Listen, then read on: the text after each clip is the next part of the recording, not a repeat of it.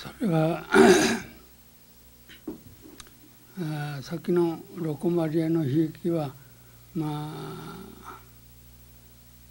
文鮮明と私と16年ぐらいあ、まあ、歩きながら敵ことをそのまま書いたものでありましてこれは真実でありますし、えー、さっき申し上げた通り「私は裏切り者」という本は、まあ、私の生活のために私の名前を売ったものでございます。